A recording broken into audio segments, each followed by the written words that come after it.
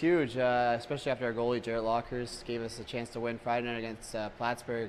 We really needed the two points. You know, these home games, SUNYAC games are huge for getting us a home playoff game.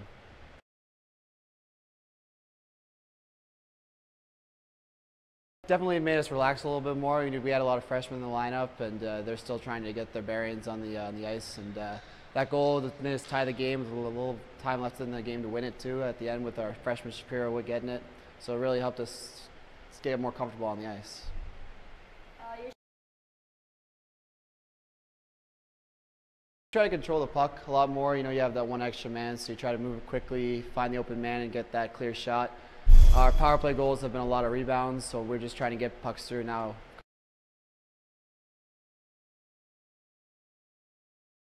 Of course, we want to get better every year. You know, uh, it's always my goal to get as many uh, points as possible to help the team win. You know, I'm expected to get an offensive performance every night.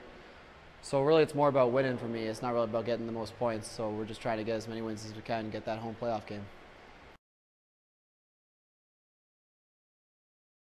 It's always a tough game with uh, Geneseo. We have a bit of a rivalry there. It's going to take uh, a lot of hard work. They're a hard-working team, both offensively and defensively, and we need to just work work that much harder to beat them.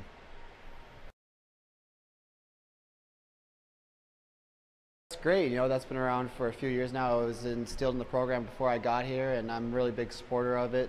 You know, our jerseys are still on sale. They can still be bought up until the game time, and I think even after the game time.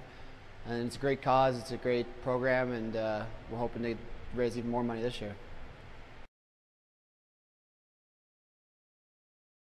Uh, I don't think that really has anything to do from it. You know, I'm from Canada. It's kind of instilled in our childhood to start with hockey, and my dad and his family were really big into hockey, so I just took to it at a young, a young age.